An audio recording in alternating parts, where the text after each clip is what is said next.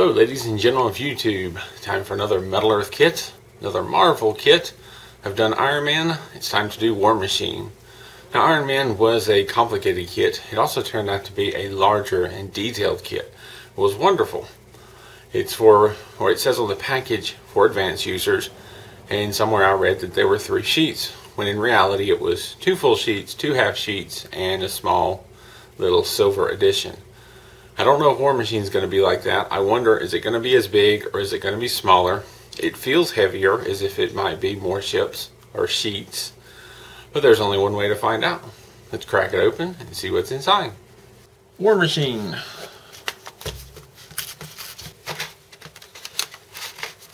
Instructions. And metal sheets. Oh, oh my it does actually have three metal sheets. We have two pieces of paper for the instructions. So here we've got page one, we've got a little drawing of the figure. We have a bit about the insertion tabs and holes. And we have a bit about the needle nose pliers. And then this key, which is usually over here, is down here. Basically the blue dots, when you see those in the directions, mean to fold the tab over 90 degrees. The triangle means to twist, and there's a bit more information right here. And then here you have one of the metal sheets. This is this particular metal sheet, and they're all numbered. And I'm guessing we have to go to page two for the other. Yes. And here at the top of page two are the other two sheets.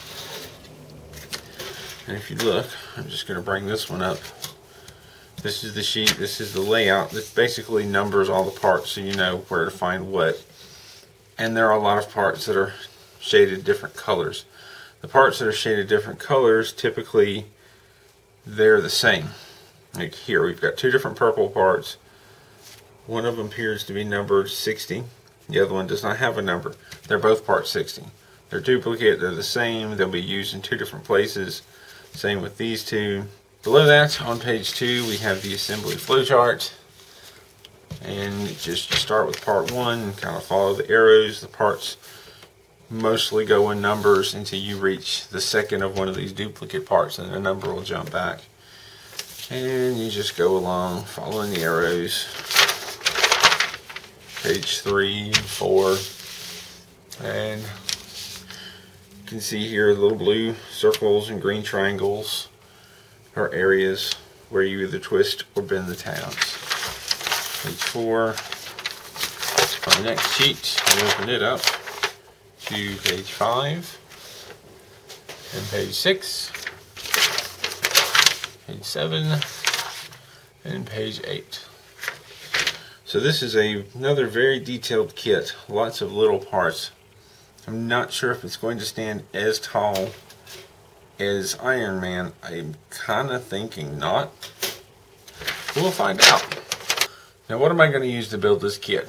I don't recommend doing these kits by hand. I've heard of it being done. I can't imagine how. But at least start with some tweezers. Tweezers will, will get you far. They'll help you do a lot of things. Some kits can be done entirely with tweezers. I did the Millennium Falcon that way. But I highly recommend getting some more tools, especially as complex as this kit is going to be. I have a Fascinations tool set that I've picked up that come in quite handy. The clippers are great for getting the parts off of the metal sheets without bending and warping them. The long nose pliers have lots of uses in bending things over, as well as the flat nose pliers.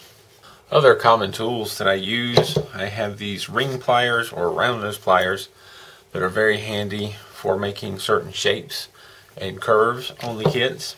I have a pick that I can use to reach in and pull out tabs that are bent in too far or make little shapes or bends that I can't get my fingers or other tools into. I have these locking clamps or Kelly clamps. They've got several names, but you can put a part in there and lock them and hold on to stuff. That's come in very handy with with smaller items that are too big or too small for my fingers to put into place. I have an array of dowel rods for rounding parts. I have step mandrels that are also good. I have marbles and beads for making circular shapes.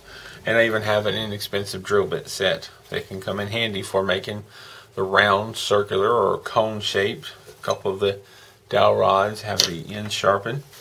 And these are all different things that I use depending on what shape I need to make. I have my tools, my instructions, my metal sheets. Let's put this thing together. I carefully curved one flap of piece 1 with a drill bit.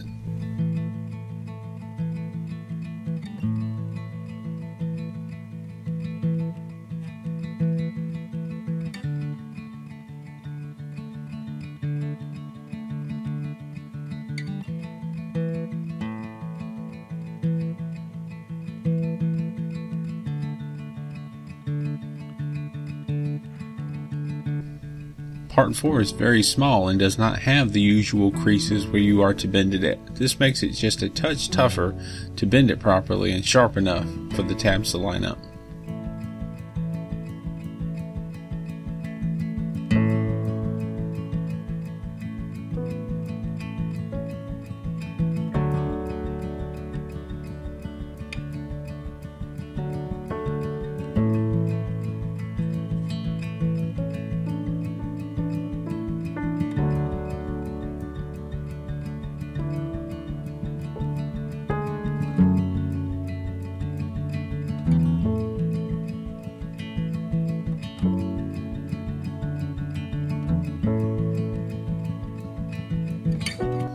Part 3 I had to bend the tabs inward to the point where I had to squeeze the part into place on either side of part 5.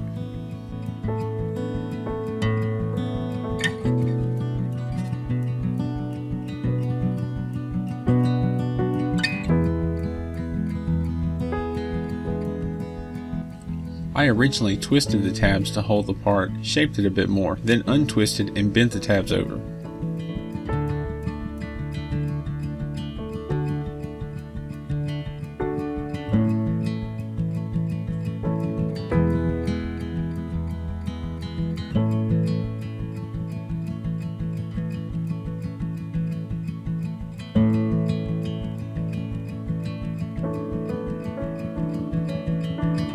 I decided to just bend the tabs over rather than risking damage trying to twist in such a small area.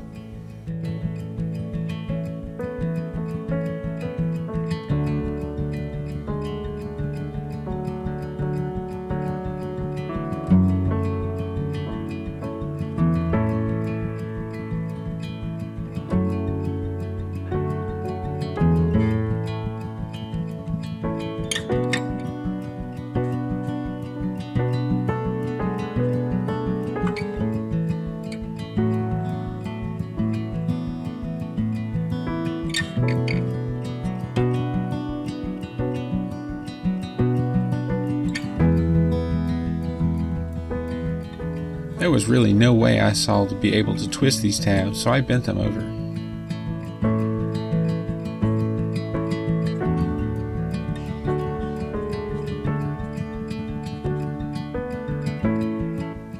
I took a break and picked up a bag of assorted beads to add to my toolkit. I found one near perfect for shaping the shoulder pieces.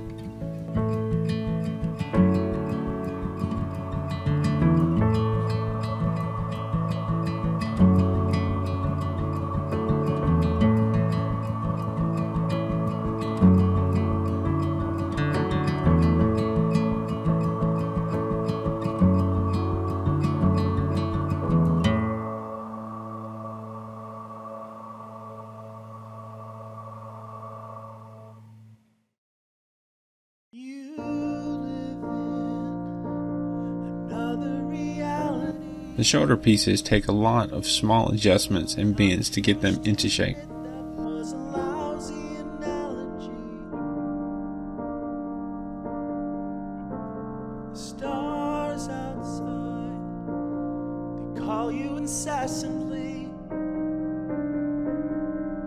you're assuming that gravity wouldn't crush you instantly.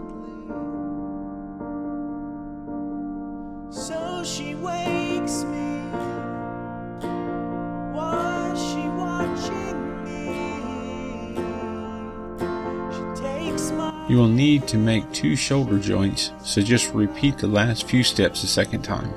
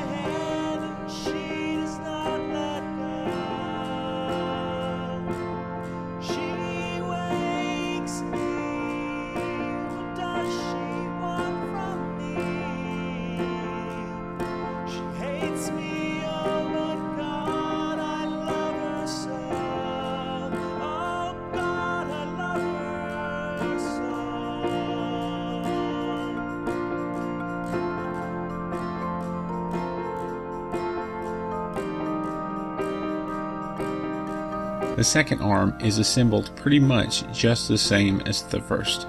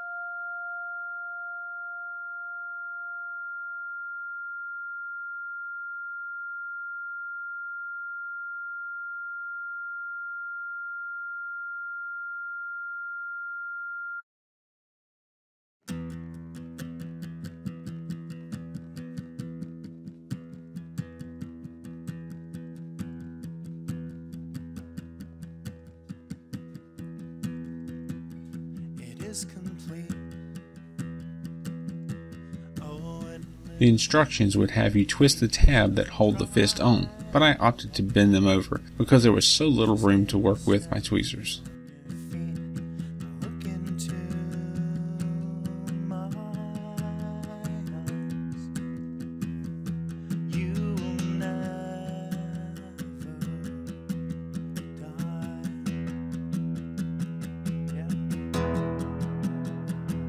I neglected to curve part 21 before attaching it.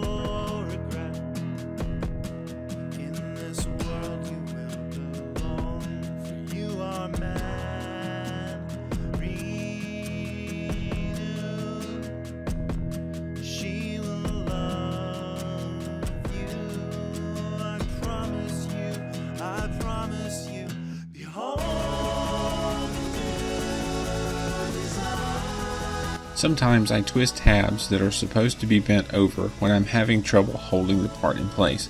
Once I get more tabs secure, I come back, untwist the tab, and bend it over.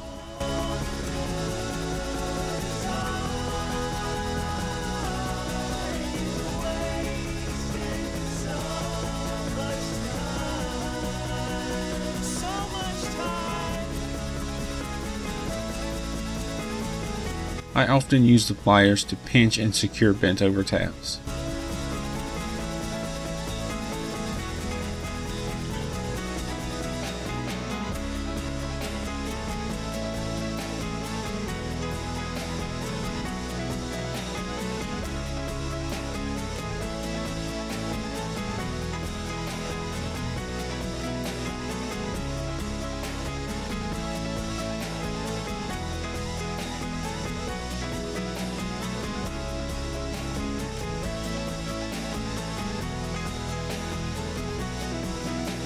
Didn't follow the directions exactly here. Perhaps I was a little overconfident. Mainly, instead of waiting to bend the center part down last and pushing the tabs in from the top, I bent the center part along with and had the tabs sticking out from the top.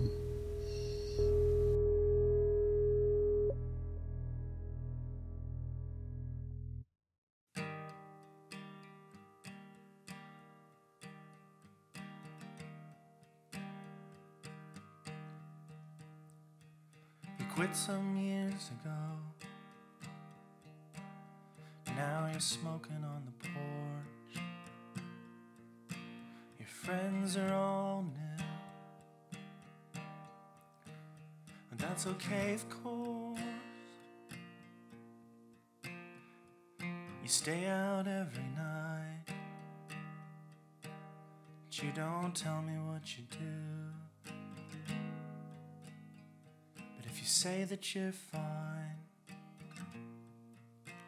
then I believe you.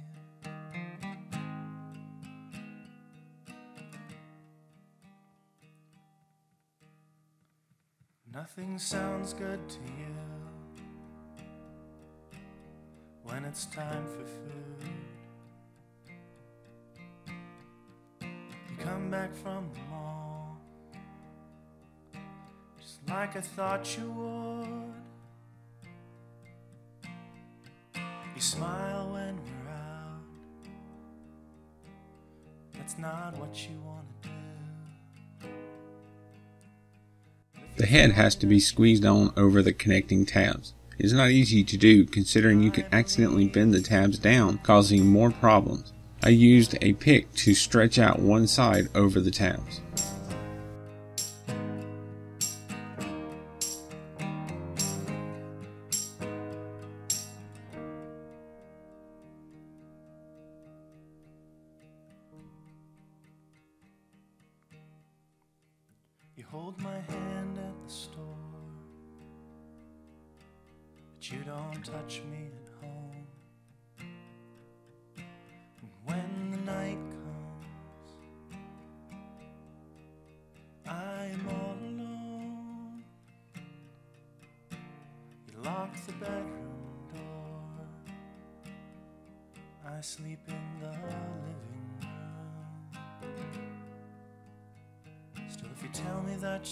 Love me, then I believe you.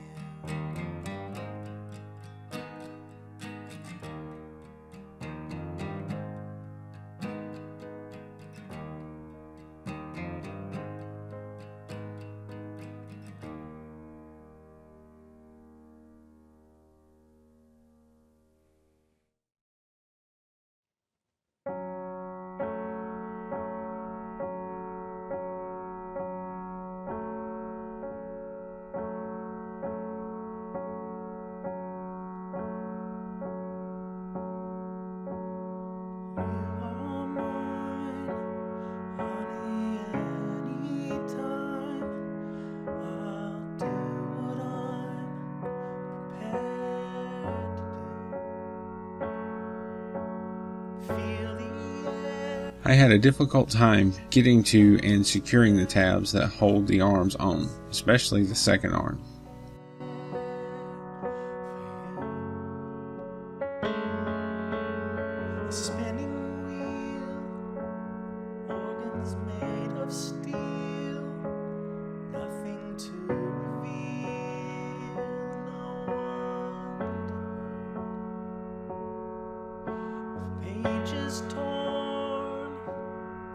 For the first shoulder cover, I twisted one tab and bent over the other.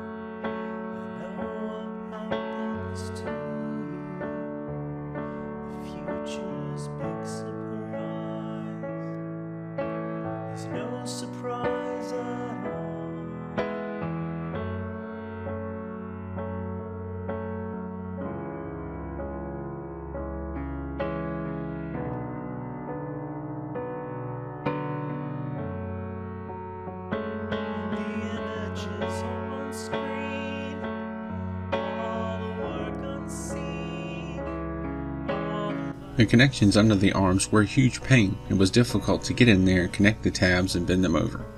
It was hard to line up the tabs and slots, and seemingly impossible to push the tabs through and hold them to bend and twist them in an area where there is little room.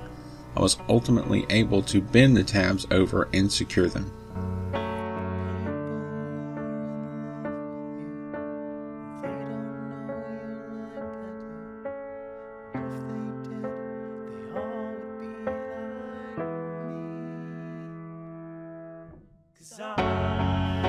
Took a break and forgot to turn the camera back on right away. I missed attaching part 40. It is just a mirror of part 41. 41 was more difficult to squeeze in under the arm though. I did not even bother with securing the upper tab.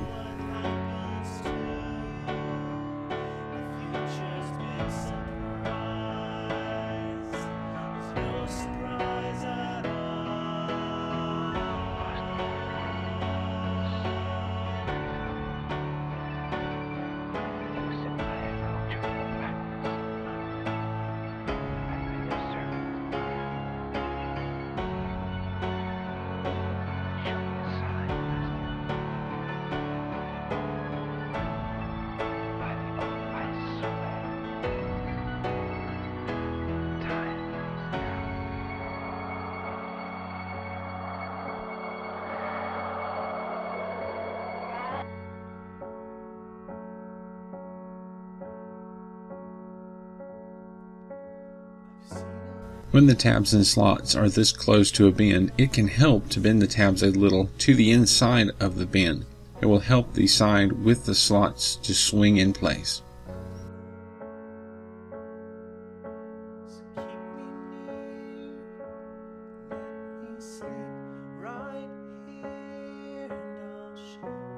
On part 44, I bent the two tabs on one side at an angle to help the part slide into place. I also opened up the assembly of other parts a little on one side. I might be kind, but babe, is it art?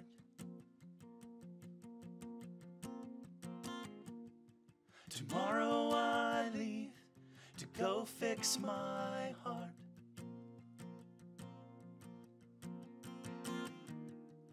One little slice tubes through an artery. They take some away. But baby, what's left for me? You can come in. The doors are all closed. The silence is echoing back. We'll sneak you out before they wake up, anyone sees. Hand me the keys, and if you think I won't do this, then baby, you don't know me.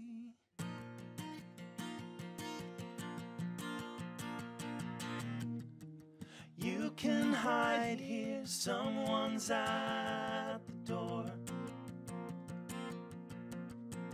I twisted one of the tabs that holds part 48 on, but decided to bend the other tab because it is so close to another slot. I did not want the tab to get in the way later.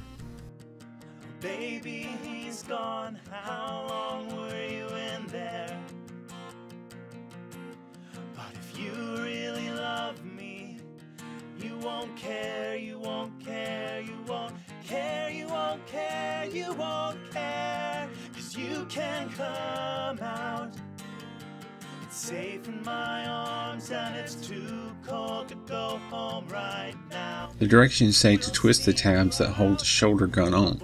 I do not know what tools they use to do so, but nothing I have can really get into that tiny spot where the tabs stick out.